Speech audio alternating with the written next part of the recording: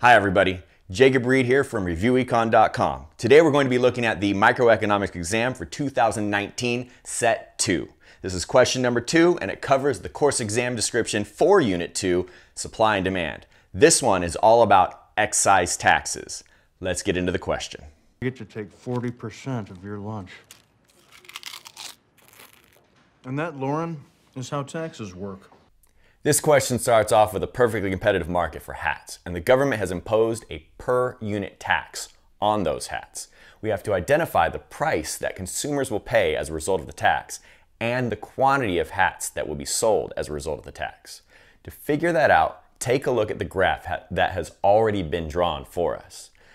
Before the tax, we have a downward sloping demand curve and an upward sloping supply curve, and there's an intersection that identifies the quantity and the price that will exist before the tax.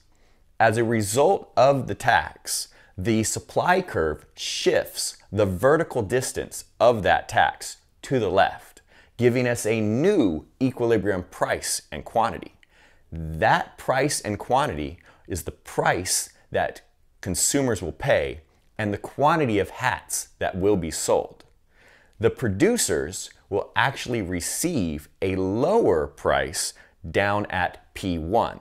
But we don't have to identify that here. We're identifying the price at the new equilibrium that is P3 and Q2 being the quantity.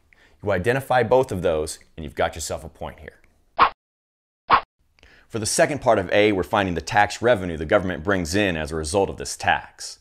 In order to find that, you look at the new equilibrium bring that down to the old supply curve, and that gap is the amount of the tax on this good. Bring it to the axes, and that gives us a four-sided shape that is the tax revenue. It is the height of the tax and the base of the quantity sold. If you were asked to calculate that, you would just calculate the area of that shape and it would give us the amount of the tax revenue. Here we only have to identify the shape. So you can do that by looking at the points that are on each of those corners. P1, P3, S, and Z. That is the shape that equals the tax revenue here. And that's your answer. For part B, we have to assume that instead of the downward sloping demand curve we just had, we now have a vertical perfectly inelastic demand curve. And we have to decide what that will do to the price that consumers pay.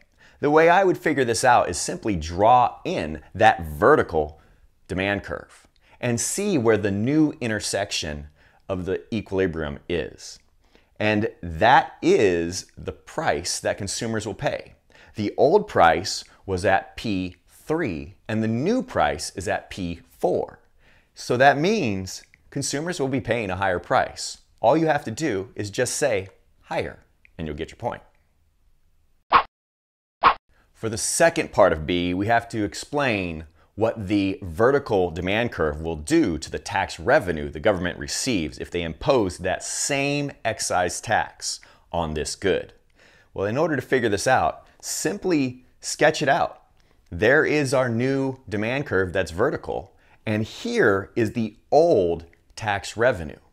With the new vertical demand curve, the quantity it will no longer decrease as a result of the tax. So this is that amount of tax revenue shifted upward. But that is not the total amount of revenue. Because the quantity is now higher than it was before, we have an additional amount of tax revenue that the government brings in by taxing this good. The moral of this story is that governments can bring in more revenue when they tax goods with inelastic demand. So in order to answer this question, you simply say higher because, and that's the explained portion you have to have here, the quantity does not drop like it does with a downward sloping demand curve. And if you show that, I suggest you use the numbers. Q3 is greater than Q2, and that's the reason why we get a higher tax revenue you get your point. For part C, we're looking at the impact of a decrease in the tax on this good and what that will do to the producer surplus. just like most of these, when in doubt, graph it out. That's how I would figure this one out. Here is where the producer surplus was with that vertical demand curve at the old amount of the tax. If we reduce the amount of the tax, the amount producers receive for selling this good doesn't actually change because that vertical demand curve shows that the entire tax burden goes onto consumers. The producer has no tax burden when facing a vertical demand curve. And so all you have to do here is say it stays the same because, and there's the explain point here, the price sellers receive doesn't change, nor does the quantity they sell. And you'll get the point. And there you have it. If you got all of that right, you are definitely on your way to acing your next economics exam. If you want to support this channel, make sure you like and subscribe below. Then head over to reviewecon.com where there are lots of review activities and games to help you practice the skills you've been learning in economics. If you want to support this channel even more, make sure you head over to reviewecon.com and purchase the total review packet with everything you need to know for the AP, microeconomics, and macroeconomics exams. Thank you. I'll see you next time.